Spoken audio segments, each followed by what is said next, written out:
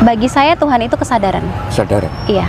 Karena saya pernah di titik uh, dalam hal belief system ya, Mas. Saya sudah beberapa kali pindah uh, agama. Bukan saya mempermainkan, tetapi rasa ingin tahu saya sejak kecil itu besar. Saya gagal uh, juga pernah berpindah-pindah agama. Jadi orang tuh kalau memandang saya secara manusia ya, ini benar-benar sudah tidak manusiawi. Hujatan itu banyak, tetapi mereka tidak paham apa yang saya lalui ketika saya berada di belief system A. Kenapa seperti ini? Kenapa nggak seperti ini kan harusnya begini kan kita manusia gitu. Ada titik-titik di mana saya tidak menemukan jawaban. Akhirnya di spiritual ini saya menemukan jawaban bahwa Tuhan itu bukan sosok menurut saya pribadi, tapi menurut saya kalau Tuhan ada dalam diri kita itu benar. Benar. Tuhan itu cahaya benar.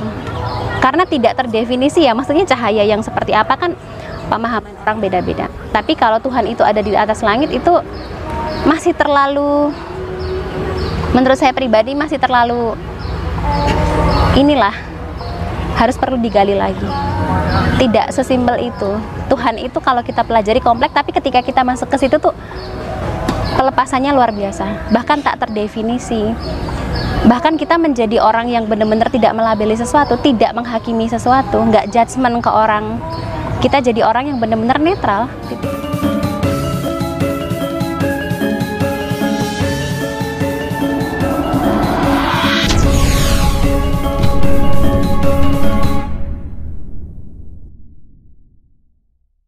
Selamat siang, Mbak. Ya, selamat siang, Mas. Hmm, Rahayu. Rahayu. Uh, sebelumnya saya ucapkan terima kasih, Mbak, sudah ya, meluangkan waktunya buat saya dan tim untuk sedikit uh, wawancara tentang pengalaman spiritual dari Mbaknya. Oke, siap. Sama -sama. Untuk mengawali acara pada siang hari ini, Mbak, uh, bisa perkenalan dulu. Ya, uh, saya Listi. Uh, kalau bisa dibilang saya juga masih belajar, Mas. Cuman hmm. aliran saya lebih ke spiritualis humanis ya.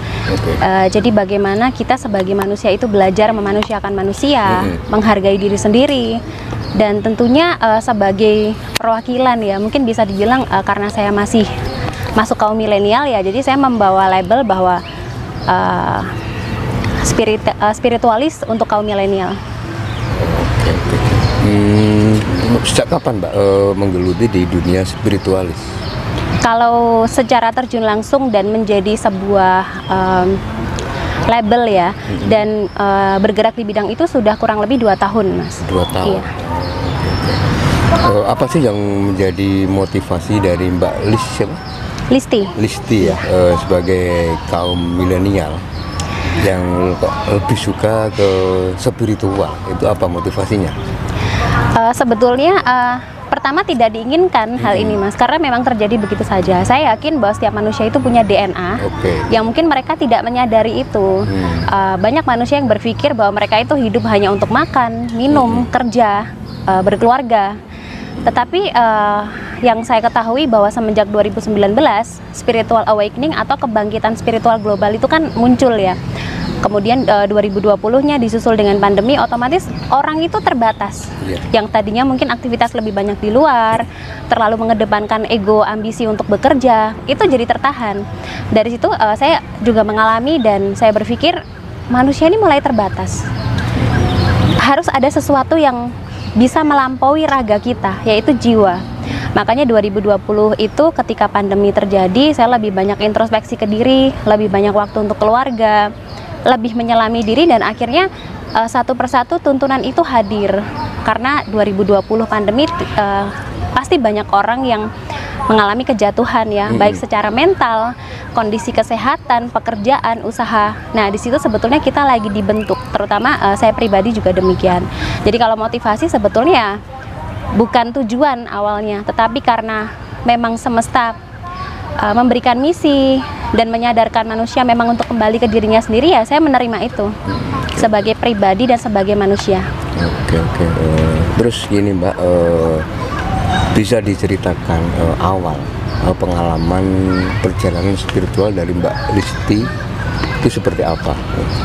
Kalau perjalanan spiritual um, sebagai informasi saya tidak terlalu banyak paham ya tentang silsilah dan sebagainya karena memang saya lahir saya sudah uh, istilahnya kayak diberikan ke orang lain gitu. Jadi saya tidak tahu orang tua kandung saya itu di mana dan bagaimana. Jadi mungkin uh, untuk pemirsa yang melihat ini kalau kalian tuh punya keluarga yang utuh, punya keluarga yang bisa membimbing kalian dalam hal spiritual tuh sangat bersyukur karena seperti kondisi saya saat uh, saat ini dan sepanjang perjalanan spiritual kan tidak banyak yang membimbing, tidak banyak yang membantu, hanya mengandalkan intuisi.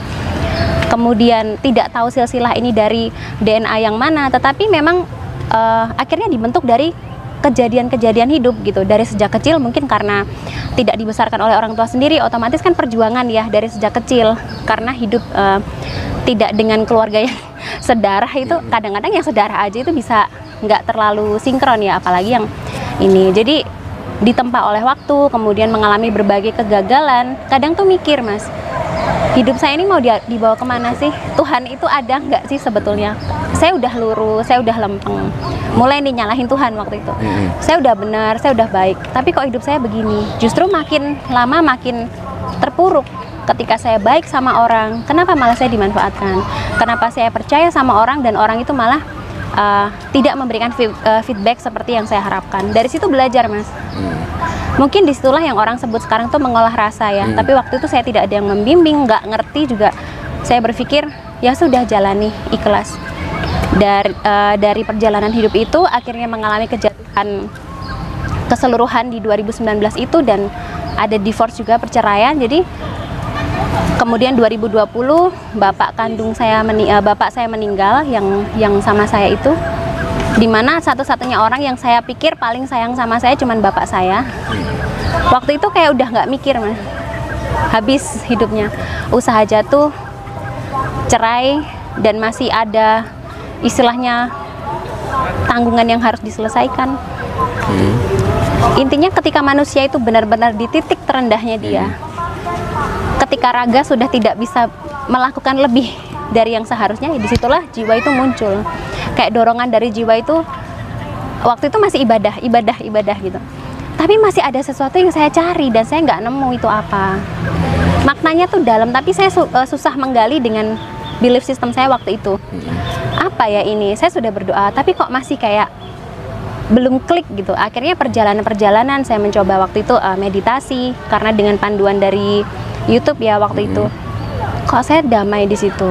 Kemudian saya mulai berjalan lagi dorongan apa suara-suara hati itu mulai muncul. Kayak tiba-tiba uh, sering bermimpi tentang uh, kerajaan-kerajaan yang lampau-lampau. Kemudian sering didatangin dengan sosok-sosok dalam mimpi yang sepuh-sepuh gitu.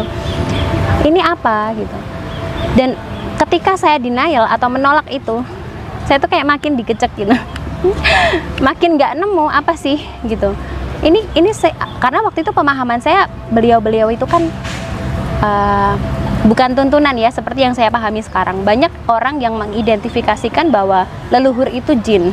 Leluhur itu jin? Iya banyak yang mengidentifikasikan seperti itu. Salah persepsi. Nah hmm. saya juga pernah terjebak di titik itu. Jadi ketika saya didatangin dalam mimpi saya berusaha denial. Ah saya nggak mau saya nggak mau. Ini sesat ini musrik ini apa? Saya nggak mau. Tapi semakin saya menolak itu semakin saya denial di mana itu sebetulnya masuk dalam DNA kita ya hmm. sama saja kita menolak DNA kita sendiri akhirnya uh, dengan sendirinya ada satu titik yang membuat saya terbuka matanya bahwa oh ini loh leluhur itu tidak seperti itu. Mereka justru menyayangi kita, bahkan kadang lebih dari diri kita sendiri. Hanya saja cara mereka menyayangi kita tuh berbeda. Bisa dengan uh, apa ya petunjuk bisa dengan vision yang dialirkan melalui DNA kita untuk kita bisa melihat sesuatu entah itu past life retrokognisi atau ke depan prekognisi jadi pelan-pelan uh, kemudian intuisi saya terbangkit. Dorongan uh, ketika bangun tidur. Kamu beli aja kartu tarot. Buat apa? Saya nggak paham cara gunanya tapi kayak dituntun terus. Akhirnya hari itu juga saya beli dan saya mulai bisa mengaplikasikan hanya dalam waktu dua hari. Tapi by intuisi kemudian saya coba cross check ke keluarga ke rekan terdekat. Bener nggak? Oh resonate resonate. Saya juga kaget waktu itu mas. Kenapa bisa seperti ini? Uh, saya mengalami hal yang belum pernah saya alami sebelumnya. Seneng dong pasti. Hmm. ada hal yang luar biasa ternyata dari diri saya yang tidak saya sadari. Dan selama ini saya menekan itu bahkan tidak membiarkan itu muncul gitu tetapi pasti ketika kita itu ada sesuatu yang besar terjadi dalam kehidupan kita, orang sekitar kan pasti pro dan kontra ya. Mulailah kontra di situ. orang menganggap uh, saya punya jin, saya bisa memanipulasi orang dengan pikiran mereka dan sebagainya. Tapi sampai hari ini entah kenapa titik itu sudah terlewati, jadi sudah tidak sebuah kendala ya. Justru semakin orang menyudutkan saya tentang hal itu, saya lebih termotivasi lagi untuk memberikan gambaran ke mereka bahwa saya pelaku yang sesungguhnya. Saya tidak pernah ritual ke mana ke mana mencari sesuatu yang mungkin saya sendiri nggak ngerti, tapi ini nyata. Leluhur itu ada. Kita di tanah Jawa di mana itu bukan untuk main-main. Kita harus mulai belajar menggali DNA kita dan memang sih ada beberapa orang yang berpikir tentang DNA ya. Oh uh, di past life saya itu saya seorang prabu saya seorang raja saya seorang ratu. Ya kadang-kadang saya simpel mas. Oke okay, kalau kamu dulu ratu kamu raja dalam kehidupan sekarang kamu mau apa? Kamu tetap kerja kamu tetap punya keluarga. Apa pun yang terjadi dalam kehidupan kamu di past life atau sebelumnya yaitu adalah gambaran bahwa itu versi terbaikmu. Justru di kehidupan sekarang lakukan yang terbaik bangkitkan lagi ilmu-ilmu Jawa kuno yang mungkin anak-anak muda tuh nggak ngerti mas bahkan saya sendiri uh, tentang sejarah itu memang belum banyak paham hmm. itulah kenapa saya banyak belajar dari orang-orang yang sudah lebih tua, lebih pengalaman. Karena sebagai anak muda juga jangan pernah melupakan sesepuh-sesepuh yang banyak memberikan pengajaran, jangan.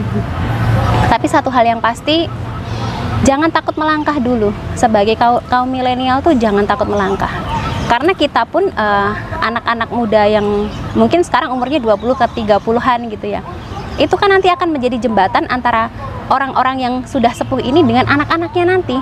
Kita ini jembatan. Bayangkan kalau kita ini tidak terkoneksi. Ya sama halnya kita sekarang yang banyak tidak terkoneksi dengan leluhur. Pembelokan sejarah bahkan yang saya ketahui ya sejarah itu ditulis untuk mereka yang menang perang. Hmm, nah itulah kenapa saya kayak tergugah gitu loh. Ayo anak-anak uh, muda ini pada ke mana? Kalian hanya sibuk main aplikasi, TikTok dan sebagainya. Kalian sadar itu tidak menghasilkan, tetapi apa yang menghasilkan justru kalian tuh nggak lakukan gitu. Nah itu sih sebetulnya yang mengetuk hati saya kenapa? Saya tuh rindu gitu loh mas. Anak-anak muda ini ayo, gitu. nggak usah kita perlu peran yang besar untuk kita jadi di pemerintahan atau apa. Jadilah untuk dirimu sendiri dulu. Minimal sharing, bikin komunitas kecil, hidupkan lagi budaya-budaya tradisional. Uh, kita tidak perlu expert untuk menjalani sesuatu. Yang penting kita mengikuti. Panduan, arahan, leluhur, semesta itu pasti akan mengikuti. Gitu. Uh, terus gini mbak, uh, di era milenial sekarang ini, uh, saya ingin tahu pandangan dari mbak Listi terkait dengan dunia spiritual. Hmm. Kan banyak akhir-akhir uh, ini orang yang kita anggap mempunyai tingkat spiritual yang lebih tinggi hmm. tapi uh, perbuatannya tidak sesuai dengan apa yang beliau miliki itu bagaimana memandangnya? Oke, tentang itu ya Mas. Kalau saya menyikapi uh, setiap manusia itu kan punya sisi diri lain ya. -hmm. Bisa dibilang kalau dalam bahasa sekarang tuh dark side. -hmm. Manusia tuh nggak sempurna Mas. Makanya ada beberapa orang atau part yang bilang bahwa manusia itu makhluk yang sempurna. Uh, ya kebenaran setiap orang kan berbeda. Kebenaran Anda ya kebenaran Anda, tetapi setiap orang memiliki kebenarannya masing-masing. Yeah. Kalau saya pribadi, manusia yang baik adalah manusia yang seimbang. Manusia yang seimbang. Seimbang. Kita tidak pernah bisa menghilangkan sisi gelap kita. Okay. Misalkan kayak emosional, kita emosi. Tidak mungkin uh, ketika kita marah uh, kita kan banyak ya diajarin karena kita dari kecil tuh uh, di era kaum milenial waktu mereka masih kecil-kecil kan diajarin untuk seragam ya. Mm-hmm. Oh nggak boleh marah, laki-laki nggak boleh nangis, laki-laki harus kuat, uh, perempuan harus feminin. Ini kan diseragamkan semua. Itulah kenapa di kehidupan sekarang banyak orang yang kehilangan jati diri dan banyak sekali orang yang mengingkari kata hatinya sendiri karena memang dari uh, doktrin yang diajarkan itu. Nah, ketika orang terbiasa menekan perasaannya, membohongi perasaannya sendiri, otomatis ego ini terpenjara di dalam. Makanya sekali orang emosi biasanya langsung dia meledak. Makanya kadang-kadang orang lebih mementingkan image untuk sebuah prestis atau label. Nah, kalau menurut saya pribadi ketika orang memiliki label spiritual tetapi sikapnya tidak mencerminkan yaitu egonya masih besar. Pasti tetap ada luka batin yang belum selesai, trauma yang harus dirilis karena saya mengalami mas. Jadi saya ngomong di sini bukan karena saya mendapat referensi tapi karena saya mengalami sendiri dan saya pernah segagal itu. Ketika saya mulai masuk dan menggunakan label ya waktu itu 2019 ramai orang menyebut dirinya indigo. Hmm. saya juga pernah terjebak di situ. Sampai suatu titik saya di, berpikir gitu oke okay, kalau saya indigo terus mau apa?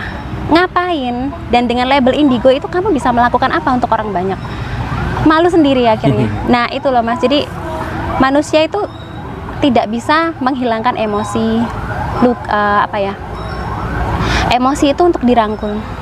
Sisi gelap kita itu hanya perlu diseimbangkan. Kalau semakin kita ingin menutupi kebusukan kita ya itu hanya akan menumpuk.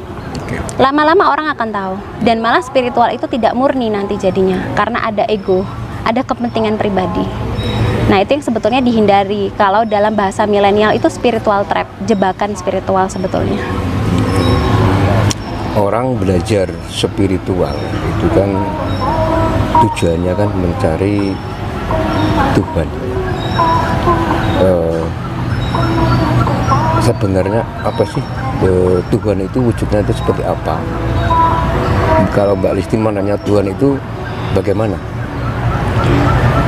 bagi saya Tuhan itu kesadaran. Kesadaran. Iya. Hmm. Karena saya pernah di titik uh, dalam hal belief system ya, Mas. Saya sudah beberapa kali pindah uh, agama. Bukan saya mempermainkan, tetapi rasa ingin tahu saya sejak kecil itu besar. saya gagal uh, juga pernah berpindah-pindah agama. Jadi orang tuh kalau memandang saya secara manusia ya, ini benar-benar sudah tidak manusiawi. Hujatan itu banyak, tetapi mereka tidak paham apa yang saya lalui? Ketika saya berada di belief system A. Kenapa seperti ini? Kenapa nggak seperti ini? Kan harusnya begini kan kita manusia gitu. Ada titik-titik di mana saya tidak menemukan jawaban. Akhirnya di spiritual ini saya menemukan jawaban bahwa Tuhan itu bukan sosok. Menurut saya pribadi tapi kebenaran ini tidak untuk uh, diterima ya tidak ada kebenaran yang mutlak kalau menurut saya pribadi Tuhan itu kesadaran Tuhan itu uh, bisa dalam setiap nafas yang kita hirup hmm. Tuhan itu bisa melalui orang yang tiba-tiba datang membantu kita mungkin pas kita susah Tuhan itu bisa uh, apa ya dorongan hati untuk nolong orang tanpa ada tendensi apa pun Tuhan itu menurut saya bukan sosok tapi kesadaran. kesadaran. Ketika vibrasi kita mencapai titik tertentu, maka di situlah Tuhan berada, terutama di hati kita, dirasa. Itu menurut saya, Mas. Eh, banyak yang mengatakan Mbak Listi bahwa wujud Tuhan itu ada yang cahaya, mm -mm. ada juga Tuhan itu adalah diri sendiri itulah Tuhan. Jadi diri sendiri itu fotokopi dari Tuhan. Yes. Ada juga yang mengatakan bahwa Tuhan itu berada di atas langit. Itu bagaimana menyikapinya? Mbak ya, Isti? kembali lagi setiap orang punya perspektif hmm. ya, Mas. Kalau saya sih lebih uh, orang itu memiliki sudut pandangnya masing-masing. Berdasarkan background mereka hidup, uh, pendidikan yang mereka terima, kesadaran mereka yang mungkin uh, berada pada level-level yang masing-masing. Kalau saya pribadi, Tuhan ada dalam diri kita, ya benar. Kita ini percikan cahaya dari Tuhan. Makanya kalau kita itu bertindak tidak baik, kita itu menjauhkan diri dari cahaya Tuhan itu sendiri. Makanya sebetulnya kalau kita berbuat jahat, kita nggak tenang kok. Kita misalkan kayak mengalami kehidupan yang nggak bener, misalkan kita hmm. tahu misalkan kita ngelakuin sesuatu yang salah sampai nyakitin orang, hati kita bergetar kok sebetulnya. Kita nggak nyaman. Cuman kadang batas manusia empatinya itu besar atau enggak. Kalau memang manusia itu empatinya besar ketika dia mau uh, ngelanggar ya, mau nerjang itu pasti empatinya langsung negor. Eh udah jangan diterusin.